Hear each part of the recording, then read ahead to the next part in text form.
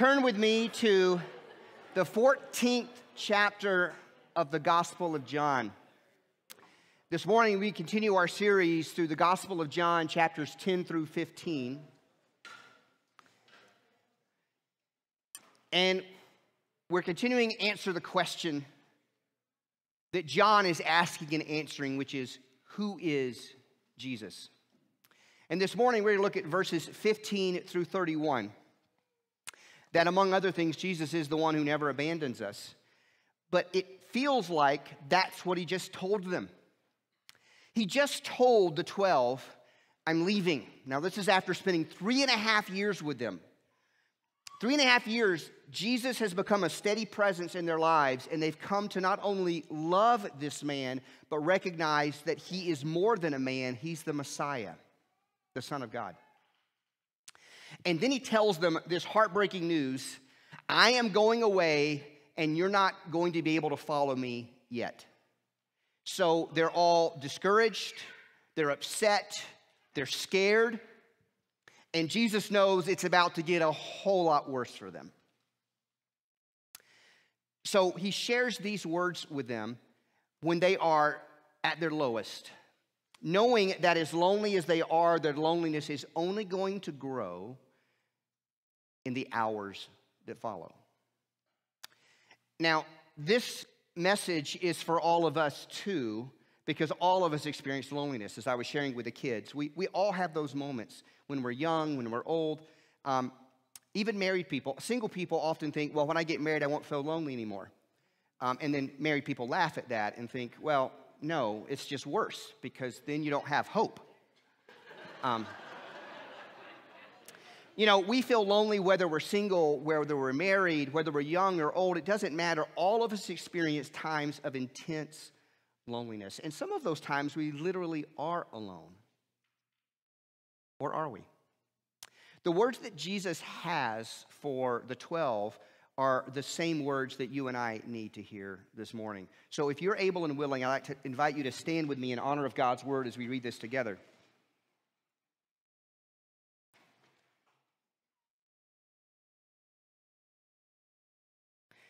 Chapter 14, verse 15, Jesus says these words If you love me, you will obey what I command. And I will ask the Father, and he will give you another advocate to be with you forever the Spirit of truth. The world cannot accept him because it neither sees him nor knows him, but you know him, for he lives with you and will be in you. I will not leave you as orphans, I will come to you.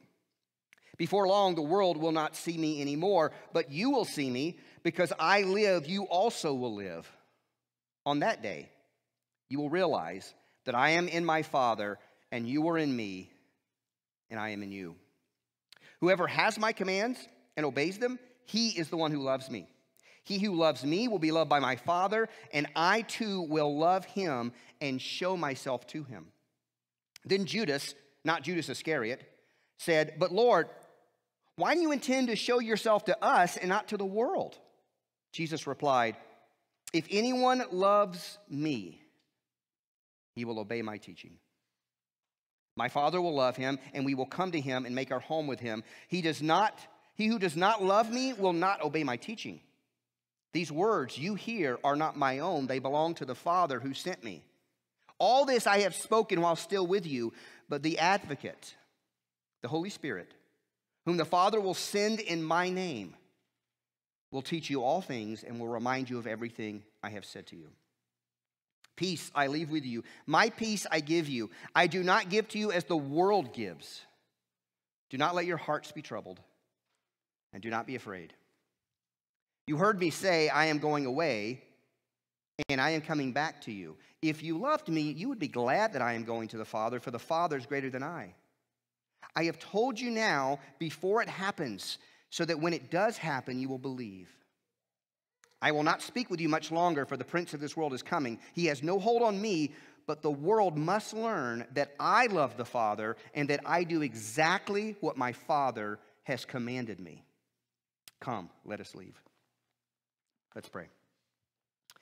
Father, help us to understand these words and the invitation for us today.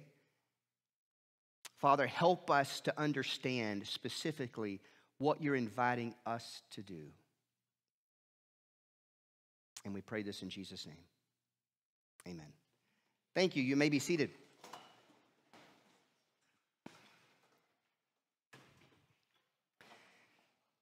So Jesus tells his closest friends that he's going away and they're not able to come right away to where he's going. And he has thrown them into confusion and fear.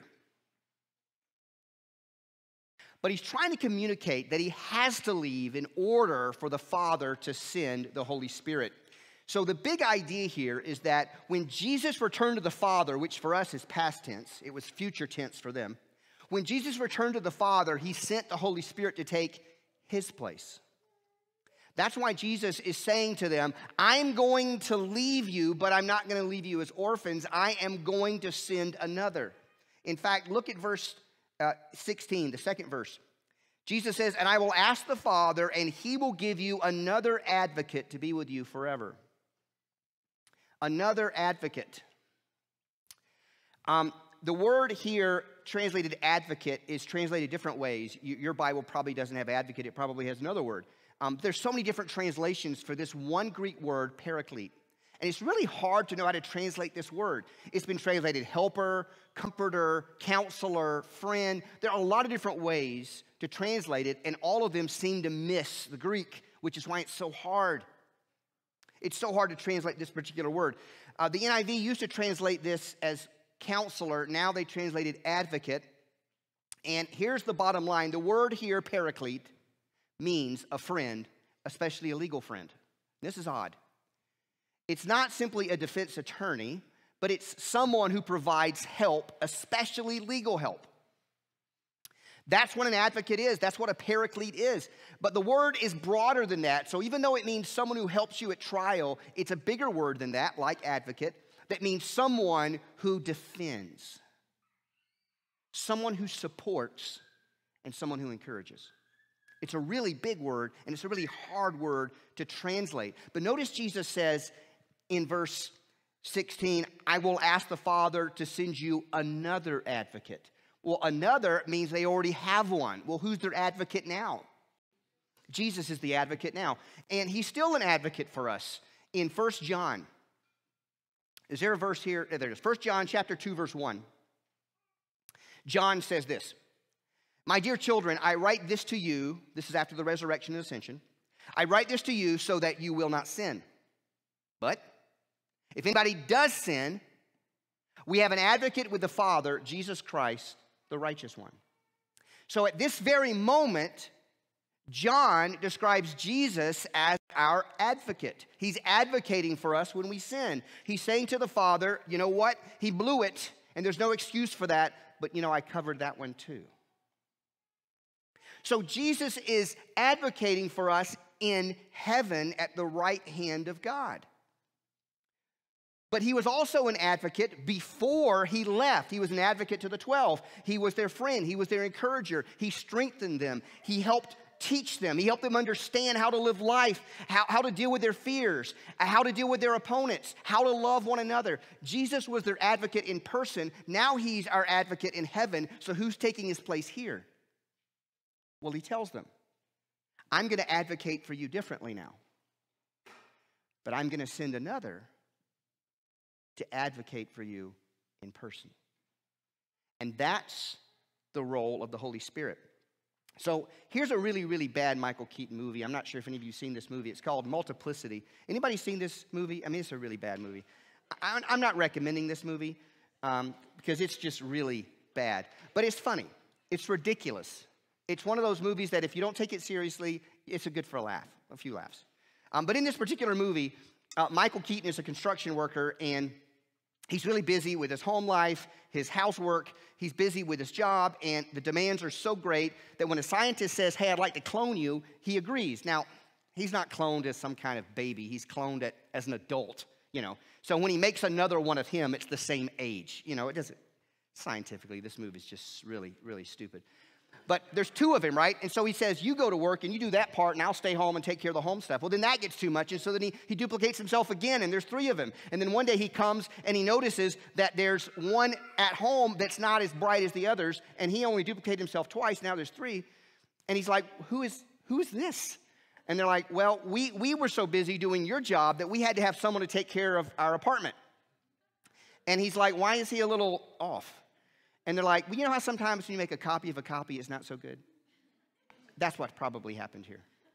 So it's, it's, it's funny, but it's ridiculous. But the whole point is, he feels like I have so much responsibility, I have to make more of me.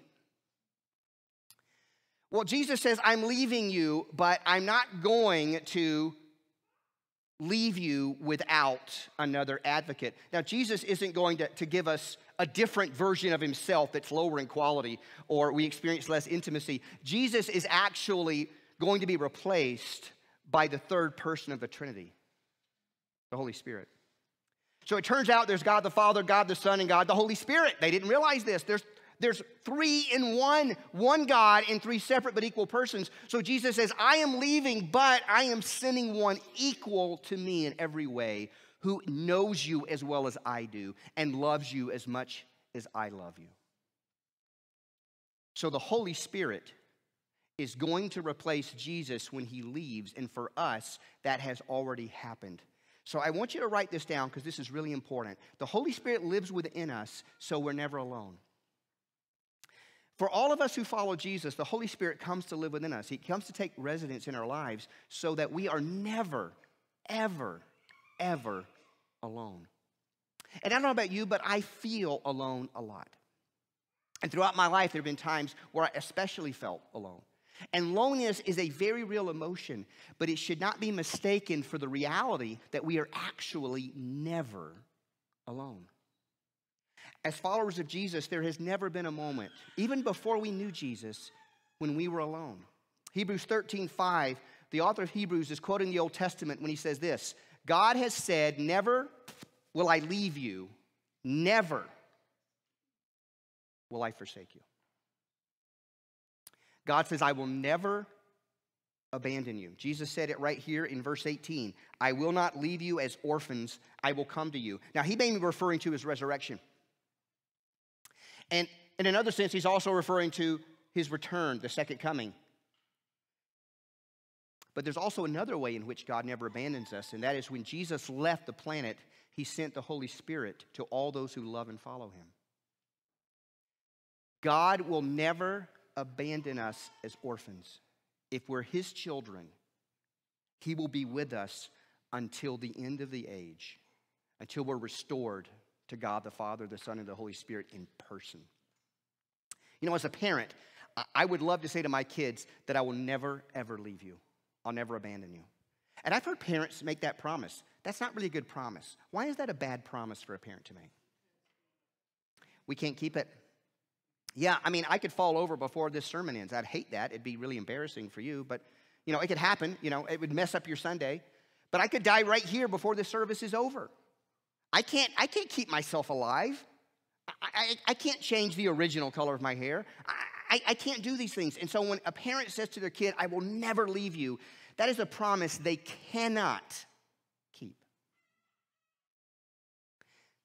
But God makes that promise and keeps it because He can. No matter how intensely lonely we may have felt, we have never, for one moment in our lives, ever been truly alone. I love meeting with people in soul care and walking into the past in times where they were intensely lonely, where they really thought they heard the message. Well, they did hear the message. Nobody's going to take care of me but me. Nobody's going to defend you. Nobody's going to love you. When I was in fifth grade, I really heard the message no one is ever going to protect your reputation but you. Well, that was a lie. Because at that time in my life, I didn't recognize that Jesus was right there standing with me, loving me, ex- experiencing the same disappointment I felt, being angry at the people around me who were mistreating me. That Jesus, in fact, might have been saying things to others and to me, but I didn't hear and they didn't listen. But that doesn't mean Jesus wasn't there. The Holy Spirit has been with me every step of the way throughout my entire life, and I have never been abandoned, not for one moment. And some of the times I love to meet with people and help them walk into the pain of their stories to realize the narrative they've always believed has never been true. They assumed that they were by themselves in that terrible moment. But in reality, the God of heaven was there, perhaps full of rage perhaps full of profound disappointment. But the God of heaven has always been with us every moment of our lives. And if we will ask him, he will tell us where he was, how he was feeling, and what he was doing in those moments. So when Jesus says, I'm leaving, he says, But I'm not going to leave you alone. I'm going to send the Holy Spirit to be with you and to be in you for the rest of your lives because we are never, ever alone. Well, there's two more things Jesus says the Holy Spirit does in this passage, but before we cover that, we're going to take a brief intermission. So feel free to stretch. There are drinks back here, bathrooms right out these doors to the left. We'll be back in three minutes. So Jesus returned to the Father, but he made sure he sent the third person of the Trinity, the Holy Spirit, to take his place. So that means, number one, that we are never alone because the Holy Spirit lives within those of us who love and follow Jesus. Secondly, though, this passage tells us that the Holy Spirit reminds us of Jesus' words, which is really important because Jesus is leaving and they haven't even understood who he truly is during most of the three and a half years they've been with him. And Jesus has said a lot of stuff, but they don't even understand half of what he said yet. They won't understand it until after the resurrection. In fact, Jesus is saying things right here about you'll understand this when that day comes. Well, that day is the resurrection. After the resurrection, they're like, ah, I get it now. And then they had to go back and think, wait a minute, what did he tell us? And then they had to remember it all. And then they had to write it down in Matthew, Mark, Luke, and John. Well, with Jesus being gone, how did they remember what he said? Jesus said, The Holy Spirit's going to remind you of all the stuff that I said. This is a promise from God, from Jesus himself. In Ephesians 1:17, Paul says it this way, I keep asking that the God of our Lord Jesus Christ, the glorious Father, may give you the spirit of wisdom and revelation so that you may know him better. The Holy Spirit's called the spirit of wisdom and revelation. He reveals the truth about who Jesus is and what he has said. Jesus says this in several, well, verse 17, he's referred to the Holy Spirit as the Spirit of truth, which is interesting, the Spirit of truth. Jesus just said, I am the truth, the way, the truth, and the life. He's referred to the God of truth, and now the Holy Spirit's the Spirit of truth.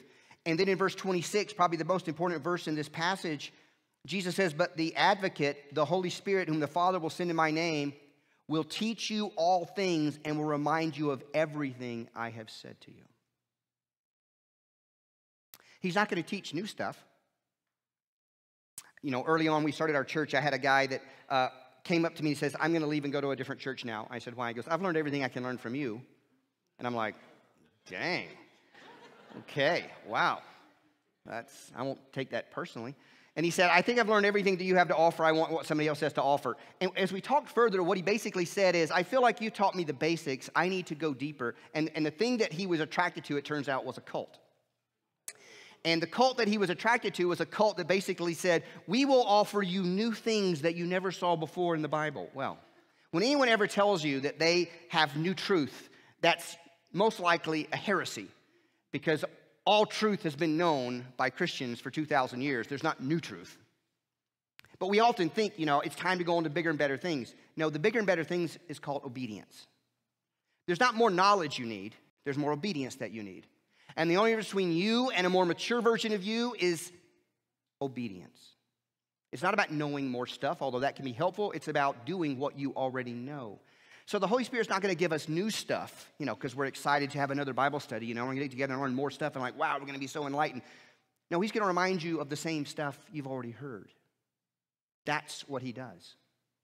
He reminds you of what you already know, assuming you know anything, which is kind of important.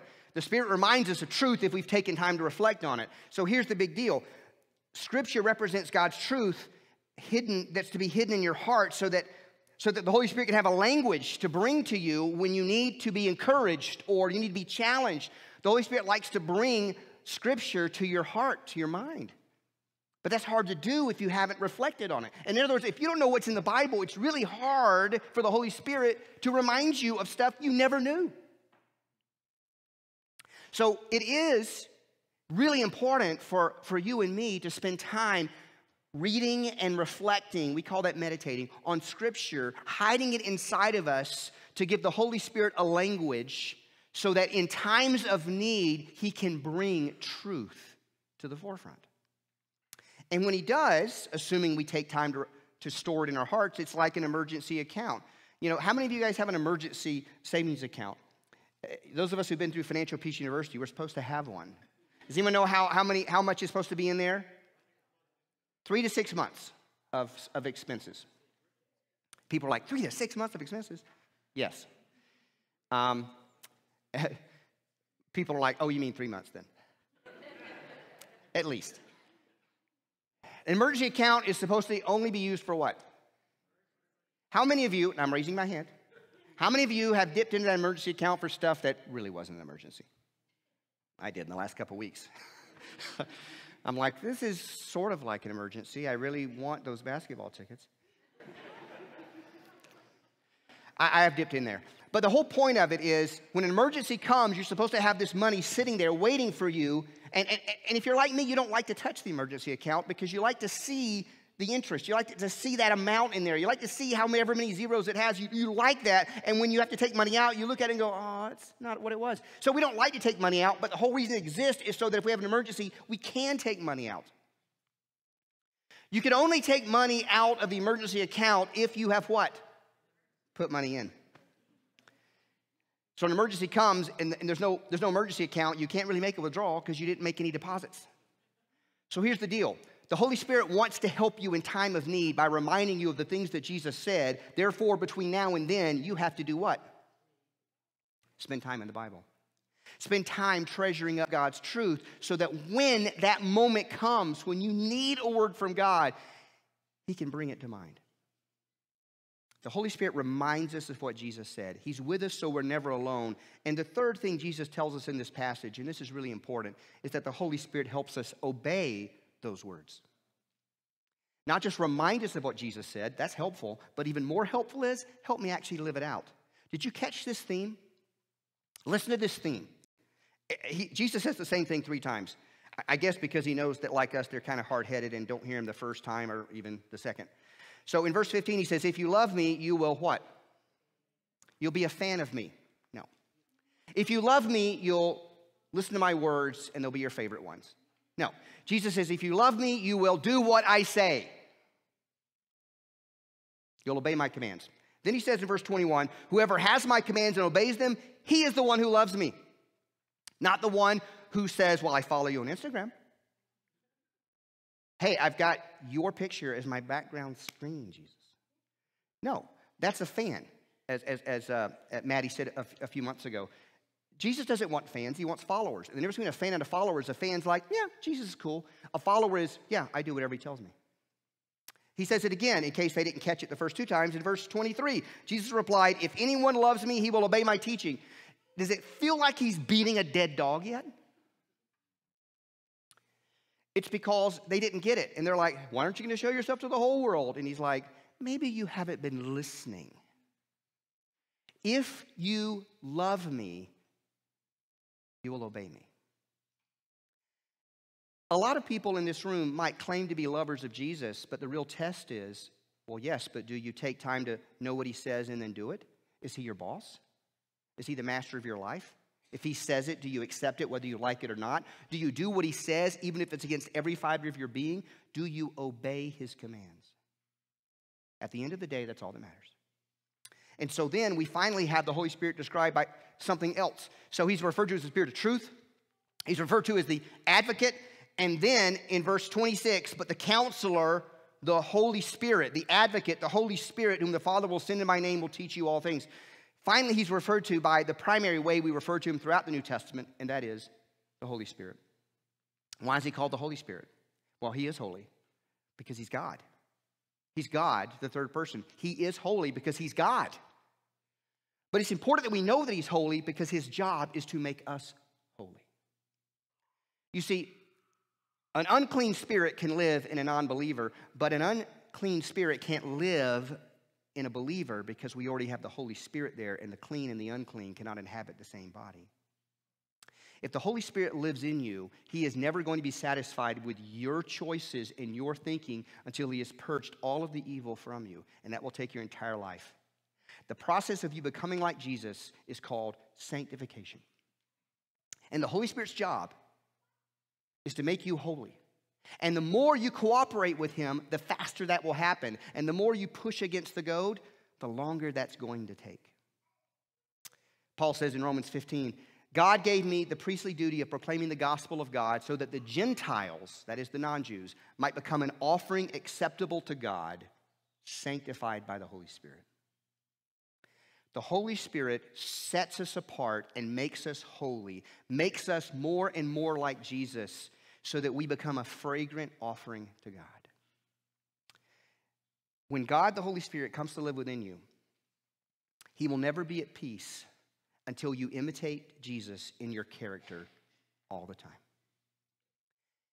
His desire is to purge all the evil from you and all the idols from your heart and to soften and tenderize your heart so that you love one another, so that you encourage others, so that you take care of the weak, so that you forgive those who wrong you.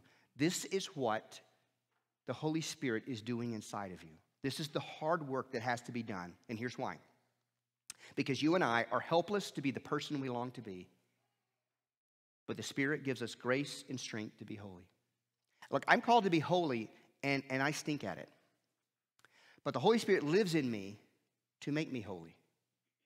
So, fortunately, it's not up to me to be holy. If it was, I would never, ever succeed. God asks me to do things I cannot do in the flesh but I don't have to because the Holy Spirit lives in me to do them and to accomplish them through me. There are people in this world that have hurt you so much, it is really hard for you to love them. Would you agree with that? I want you to think about the people in this world right now that have hurt you so much that the idea of loving them is almost laughable to you. And you're like, oh, I'll love them from a distance. I want you to think about all the people in this world that you're like, well, I can't forgive that person for that. Yes, you can. If you let the Holy Spirit do it through you. You see, there's no sense in which we can fail to keep the commands of Jesus if the Holy Spirit lives in us and we learn to depend on Him. Let me give you one example. So, um, there was a, there's pastor recently. Uh, I was um, so someone that I, I do soul care with asked me if I would speak to a group within their church, and I said, uh, "Sure, I'd love to do that." And so I penciled it in, and it was supposed to be, you know, earlier this week. So I penciled in the date, and um, about a week and a half, two weeks before I was supposed to speak to this group in this church, the pastor of this church, whose feelings I had hurt recently, um, called me up. And I said, Hey, how's it going? And we had some small talk. And then this pastor said to me, um, So I've got you down here uh, to speak to a group in our church on uh, Tuesday, May 2nd. I said, That's right. He goes, Yeah, that's not going to happen. I said, What? What? He's like, Yeah, I don't trust you and uh, I'm not going to have you come and speak to our church, so you just need to take that off your calendar. And I said, uh, okay. He's like, you think you could do that? I'm like, yeah, I can not do that. And uh, he's like, good. Any questions? And I'm like, no, that was pretty clear. No, you're pretty clear. And he goes, okay, have a great day. So I'm like, uh, what do I do with that? So I'm like, okay, okay. So um, I want to hurt somebody right now. I'm hurt and I want to hurt right? So I'm sitting there thinking about how I feel, and, and, and I wanted to do all the things that I talked about several weeks ago. You know, I wanted to find an ally and throw this person under the bus. I wanted revenge. You know, I thought about all the stuff I talked about a few weeks ago, and then I had just given that sermon, actually. So then I remembered the sermon, and I'm like, oh, yeah. Number five, take it to Jesus. I should probably do that one first. So I did that. And I wrestled with Jesus, and finally I realized, you know what, this person's hurt, and they're broken, and they're just trying to um, punish me because they're hurting. And I've done that. I punish people because I'm hurting. I've done that a lot in my life. I totally get that. It's not okay, but I get it. I understand it. Like I've been there. And I said, God, help me to forgive this person. And I knew that I was going to the Gospel Coalition, Coalition luncheon um, this past week on Wednesday. And I knew this pastor often came to that luncheon. There were about 40 of us that come to that. I knew he often comes. And I'm like, I'm to have to see this guy who just told me, get the heaven out of here, right? I'm to see this guy. And I'm like, uh, I do not like him very much. And I think he's being brutally unkind. And I thought, okay, well, I did hurt his feelings and I need to ask for forgiveness. So I wrote a card and sent it in the mail. And I said, you know, I'm going to see him before he even gets this. And I don't know what to say. And I finally just said, God, help me love this person. Uh, love this person through me because I don't really like this person. But the truth is, you died for this person. This person is my brother. This person is, is my future friend. Help me to love this person the way you love this person. And so I go to the meeting and I get there early and the person's not there and I'm like, maybe they won't come, but if they do come, how am I going to handle that? So I'm just praying, like, Jesus, help me, Father, just love this person through me because this is like, I don't want to even do this. So then the person walks in and I see them. I'm like, uh oh, they're here. And they look and see me because I'm right in front of them and they'll look down immediately and I'm like, oh. they're probably ashamed. Yeah, they probably should be. Yeah. And I'm thinking, you know, how am I going to handle this? And so I watched the person and I just had this like tender heart for the person. Like I just saw them as a child, as just a kid, doing what the kid probably has been doing since they were six, you know, like making people pay, which I've done, right? I'm just as bad. And I realized, what do I deserve, Father? I deserve to go to hell. I don't deserve to speak to a group at this church. I don't deserve anything. I deserve to die and go to hell, and you have forgiven me. And what you have forgiven me for, for is far far greater than anything this person has done to me. So I just watched the person walk in and take my eyes off them. And they came all the way up to me because there were a group of pastors here and they shook my hand. And as I shook their hand, I said to their name, let's just say it's John, I said, John, it's good to see you. And I meant it. Like that wasn't even like sarcasm. I mean, if you were standing there, you'd be like, yeah, whatever. But no, I meant it. I meant it. I meant it 100%. Like I meant it was good to see them because it was, because in that moment, I loved it. And when I touched him, it was almost like magic. It was like Jesus loved them through me. And I, you know what? I was actually glad to see that person. And that is so weird because five minutes earlier, I was hoping, I was praying they wouldn't come. The truth is, I have a really hard time loving some people in this world, and so do you. But I don't have a free pass to not love them. Jesus says, If you love me, you will do what I say. And Jesus says, Love your enemies. Forgive those who wound you. Forgive others as much as I have forgiven you. How much is that? How much is that? The Holy Spirit lives in you to make you holy. We never have an excuse to not do the loving thing, ever. And if we're not depending on the Holy Spirit, we have to ask ourselves do we really love Jesus or do we just talk a good talk? Because if we love Jesus, we'll depend upon the Holy Spirit with all of our might to love one another and to obey his commands. Let's pray. Father, sometimes it's really hard to live the Christian life. We feel intensely lonely. We're hurt. We're wounded. We have legitimate anger and sometimes even rage. But Father, you have called us all to know and do the will of your Son, Jesus. And I thank you for the gift of the Holy Spirit that makes that possible.